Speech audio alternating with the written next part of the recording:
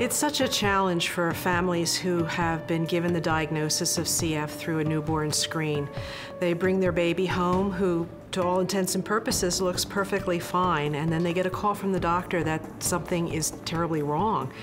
Um, and they hear about the disease and they realize that it's an incredibly um, serious disease uh, from what the doctor's saying, and yet they look at their child and see a child that doesn't look like there's a thing the matter. So it's very, very hard to initially wrap your head around that kind of a uh, news. When Aiden um, was uh, about eight days old, um, we had noticed actually that he seemed a little, he was eating constantly and was having frequent stools, and we were a little bit concerned and actually called the doctor the morning of September 24th. And they said, oh no, that's fine, that's normal.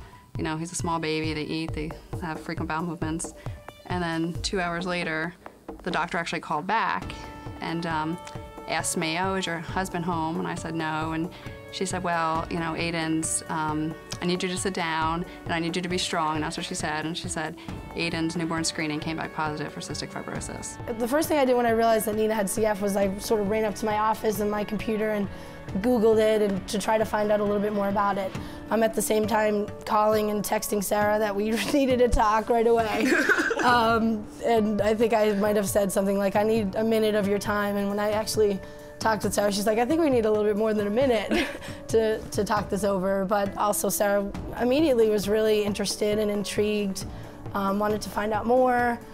So I went back to the adoption director and told her that, you know, we would seriously consider it if we could just find out more information. Our daughter Nicole was born at six pounds, 15 ounces, which was significantly smaller than our older daughter. And she was losing her body weight. So I knew that I was a carrier of the CF gene. I actually have had four first cousins with CF.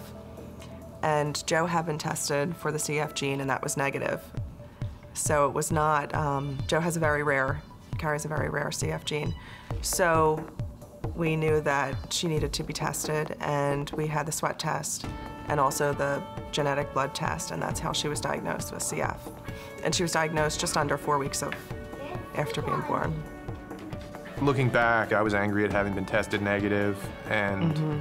uh, I felt like we had done our due diligence and uh, mm -hmm turns out it wasn't good enough, so there was a lot of anger at the time. It seemed life-changing, you know. It, it, really seemed like, oh, oh, my God, what is going to be happening to our little little guy now? And we just really weren't, a I at least wasn't 100% sure. I know uh, Megan knew a little bit more about CF, but I was completely uh, in the dark. So that first time with the CF uh, team and just, of course, the internet had so much on it and uh, we were all over that. So it, it was, you know, uh, shock, anger, uh, all, all, the whole gamut of emotions. We started treatments that day. All his medications started coming in that we needed. They said we need to get, you know, pancreatic enzymes. Um, we had to buy applesauce because to, to feed him the enzymes, and uh, his treatment progress started from there. The CF Center was willing to see us within, you know, two hours of the first phone call.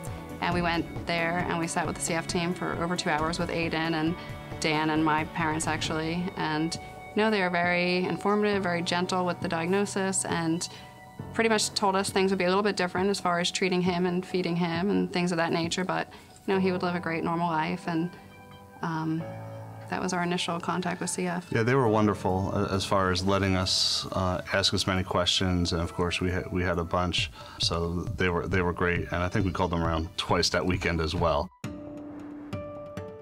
It was kind of frustrating because we didn't understand a lot. The family wanted to say, well, is cystic fibrosis like asthma? You know, I mean, that was a common question we got from a lot of family members. So trying to explain it was very difficult. And then... Um, and to read stuff was very challenging. Yeah, and it was.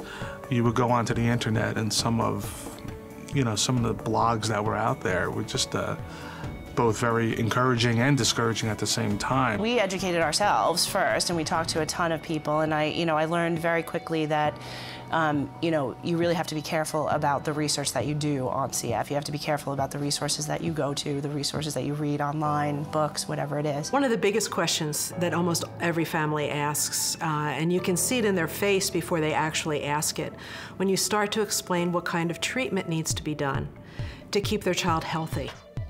So as we begin to explain about chest physical therapy and enzymes and inhaled treatments, the question becomes, why in the world do I need to do all this? It was so overwhelming. I was so afraid of something happening to her that I just kept thinking, the cystic fibrosis, oh my gosh, cystic fibrosis. And I was, because she's an infant, and when you have an infant, they just rely on you for food and love, and but they don't talk to you, they don't tell you how they're feeling. And that was really overwhelming. And then uh, when her little personality came out, I had this epiphany one day that I was like, this is just a piece of her. She's just this total, she's just a ham, she's smart, she's funny. And the CF is a big part of her, but I, you can't let it define her. I couldn't let it define her, and that's what, what I got out of it. One of the challenges for the CF team is to really help parents understand um, that we're not just looking at their child as they are now, we're looking at their child over a lifetime, and hopefully a very long lifetime. Uh, just as CF is not affecting their child in any obvious way at diagnosis, for the most part with newborn screen, um, we'd like to have that not affect them when they're 30, 40, 50 years old and have them be limited by their lung function. Uh, one of the things I like to tell parents myself is it, it's more than just doing the treatments and getting your kids to cooperate.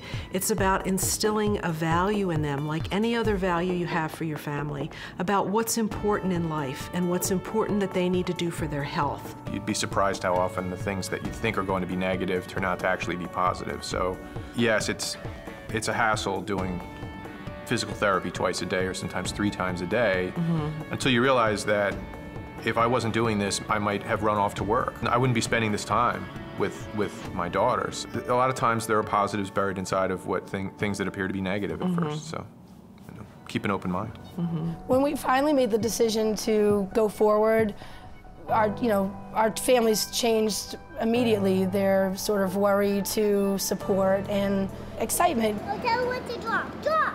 it was really a, a wonderful time. To learn more about this issue, ask your CF Foundation Accredited Care Center or contact the CF Foundation directly. Call 800 FIGHT CF or email us at info at cff.org.